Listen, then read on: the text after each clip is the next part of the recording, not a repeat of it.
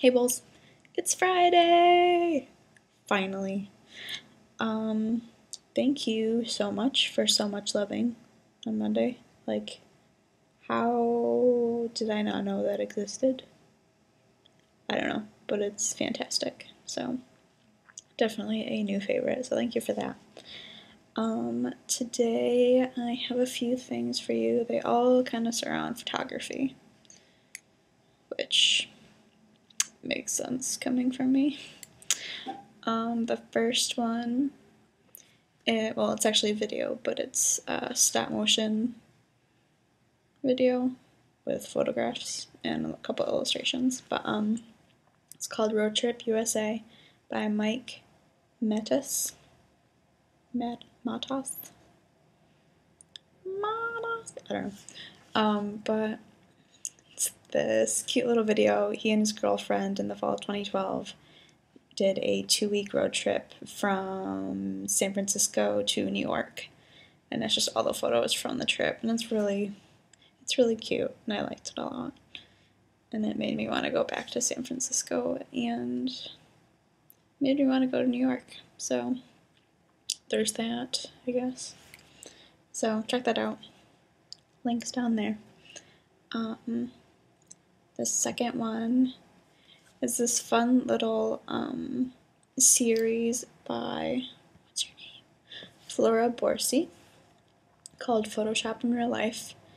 And it's really cute. She takes, um, uh, she made like posters out of um, like the Photoshop. I think they're called dialog boxes. I'm not sure right now. It's probably wrong. Anyway, like the properties that you can change and stuff. She made those boxes and then took photos of herself holding the poster, had it in the photo with her, and like there's one that's the patch tool, which you can um, take out like blemishes in photos, mostly like in the skin and stuff. So there's a picture of her and uh, she's like squeezing her cheek like she has a pimple or something and it's not there. So it's like she got rid of it with the patch tool. If that makes sense. I don't know. Go down in the box and take a look for yourself. They're really cool. I like them really. Yeah. English, I speak it. I like them a lot. uh, the last one, it's called The Battle We Didn't Choose. Um, this guy Ange Merendino. I think. Um, the battle I didn't choose, my wife's fight with breast cancer. You may have seen it. Um, it's basically a, I guess you'd call it a photojournalism story, basically.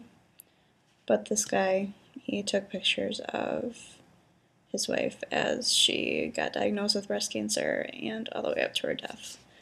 And as heartbreaking as it is, it's a really beautiful piece. Like, mm, it's gorgeous. It really is. And, ugh, I don't even know what to say.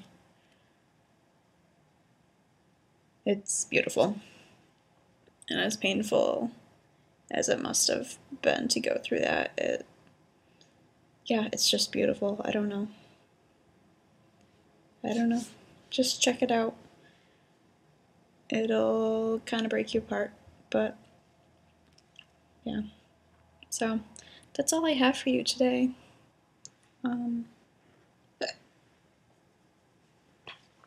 hope you have a great weekend. I think I'm getting a nephew this weekend meaning my sister's going into labor. FYI, for those that aren't informed.